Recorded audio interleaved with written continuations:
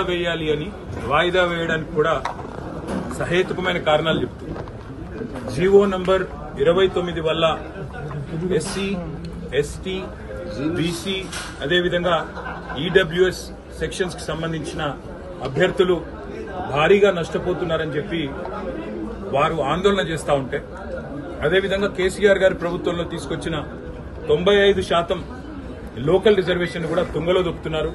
ఈ రోజు ఎక్కువ మంది నాన్ లోకల్ అభ్యర్థులకు అవకాశం ఇచ్చే ప్రయత్నం ఈ ప్రభుత్వం చేస్తున్నది అంటూ ఆందోళన వ్యక్తం చేస్తూ. అదేవిధంగా తెలుగు అకాడమీ పుస్తకాలను ప్రామాణికంగా కాకుండా ఈరోజు మీరు వికీపీడియాని ప్రామాణికంగా తీసుకోవాలి అంటూ అర్థం లేని వాదన చేస్తున్న ఈ ప్రభుత్వానికి సూటిగా ప్రశ్నలు సంధిస్తూ గత నాలుగు రోజులుగా ఎండనక వాననక రాత్రనక పగలనక ఆందోళన చేస్తున్న గ్రూప్ వన్ అభ్యర్థుల్ని ఈరోజు ఈ ప్రభుత్వం ట్రీట్ చేస్తున్న తీరేదైతే ఉందో నిజంగానే చాలా శోచనీయం బాధాకరం. మూడు లక్షల మంది విద్యార్థులు పరీక్ష రాస్తే ఈ రోజు అందులోంచి ముప్పై వేల మంది మెయిన్స్కి క్వాలిఫై అయ్యారు.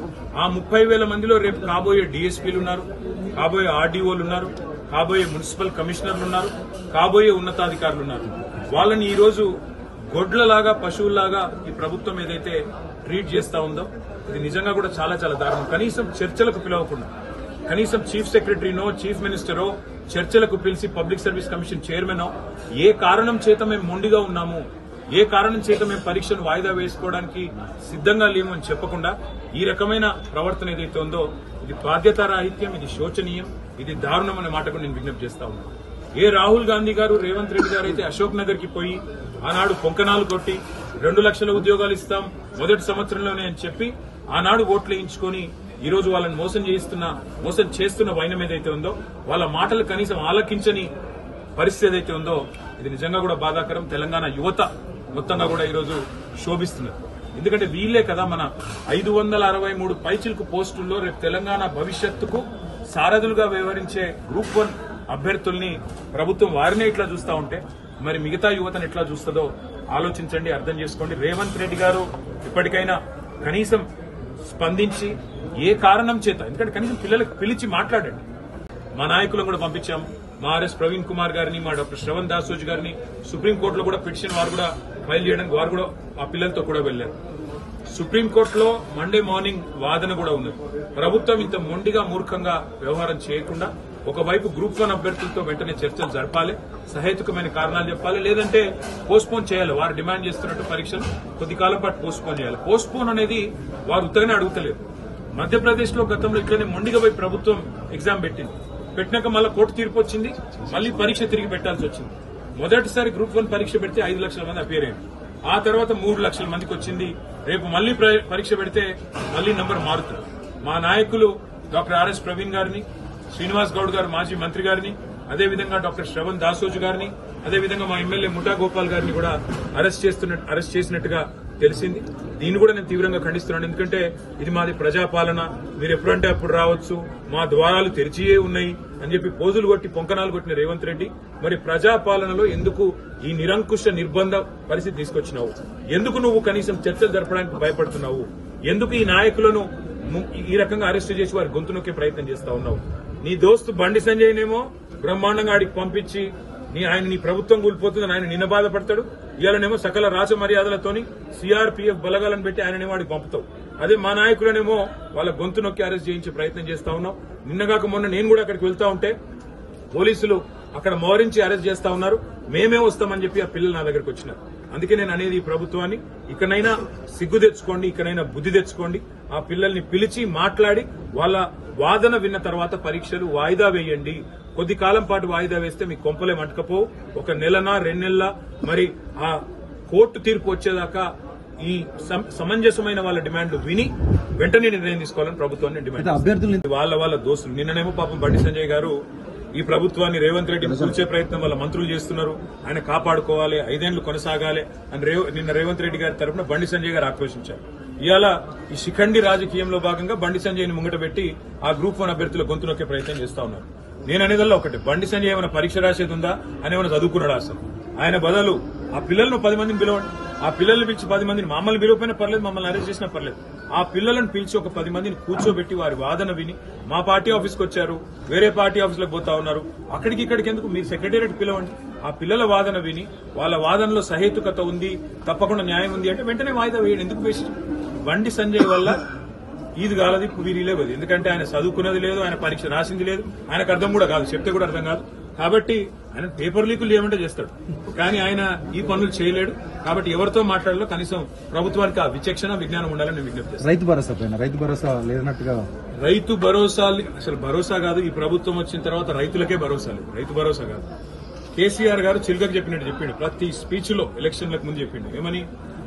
ఈ ప్రభుత్వం ఉన్నన్నాళ్ళు రైతు బంధు ఉంటుంది. కాంగ్రెస్ వాళ్ళు వస్తే రైతు బంధుకు రామ్ రామ్ అంటారు అని చెప్పి కేసీఆర్ గారు ప్రతి సభలో చెప్పారు. ఇవాళ ఇన్ని పెద్ద పెద్ద మాటలు చెప్పిండు రేవంత్ రెడ్డి. రెండు పంటలకు కాదు మూడు పంటలకు రైతు బంధు ఇవ్వాలన్నారు రైతులకు కాదు రైతు కూలీలకు ఇస్తా అన్నాడు కౌలు రైతులకు ఇస్తా అన్నాడు పదివేలు కాదు పదిహేను వేలు ఇస్తా అన్నాడు ఐదు వందలు బోనస్ ఇస్తా అన్నాడు ఇన్ని బోగస్ మాటలు చెప్పి ఇవాళ ఈ ఖరీఫ్కు రైతు బంధు ఎగ్గొట్టిన ఈ ప్రభుత్వాన్ని ఖచ్చితంగా నిలదీయాల్సిందే. వీళ్ళని వదిలిపెట్టం. రేపు అన్ని మండల కేంద్రాల్లో అన్ని నియోజకవర్గ కేంద్రాల్లో మా పార్టీ తరఫున నిరసన కార్యక్రమాలకు పిలుపునిస్తా ఉన్నాం. తప్పకుండా ఇందులో రైతులు కూడా పాల్గొనాలా మా కార్యకర్తలు కూడా పాల్గొంటారు. రైతుల తరఫున బీఆర్ఎస్ అంటే భారత రాష్ట్ర సమితి మాత్రమే కాదు భారత రైతు సమితి. తప్పకుండా రైతుల తరఫున ఈ ప్రభుత్వం మెడలు వంచేదాకా. మూడు సార్లు మూడు పంటలకు రైతు బంద్ ఇవ్వాలన్న సిపాయి ఈరోజు ఒక పంట కూడా రైతు బంధు చేయలేని దుస్థితి తప్పించుకునే పరిస్థితి ఏదైతే ఉందో దీన్ని తప్పకుండా రైతుల దృష్టికి తీసుకుని పోతాం. ఈ ప్రభుత్వాన్ని ఎండగడతాం. వారి తరఫున నిరసనలు చెప్తాం. ఈ ప్రభుత్వం దిగొచ్చేదాకా ఈ ఏడు వేల ఐదు వందల కోట్లు రైతులకు ఇచ్చేదాకా ఈ ప్రభుత్వాన్ని వెంట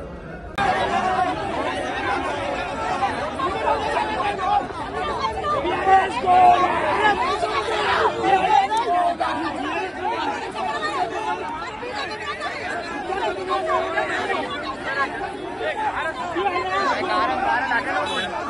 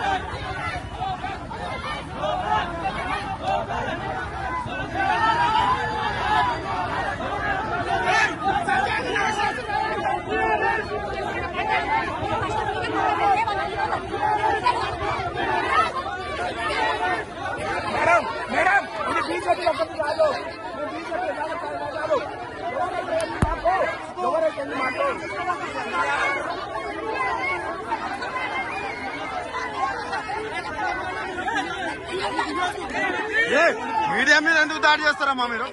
మీడియా మీద నువ్వెందుకు? నువ్వెవరు? నువ్వు మీడియా మీద మమ్మల్ని ఎవరు? ఇన్సిడెంట్ తీస్తాం. మీడియా ఏంది ఏంది నువ్వు? ఎవరు నువ్వు? మేము మీడియా తీసుకుంటాం. ఎవరు వచ్చినా తీసుకుంటాం. ఎవరు వచ్చినా తీసుకుంటాం.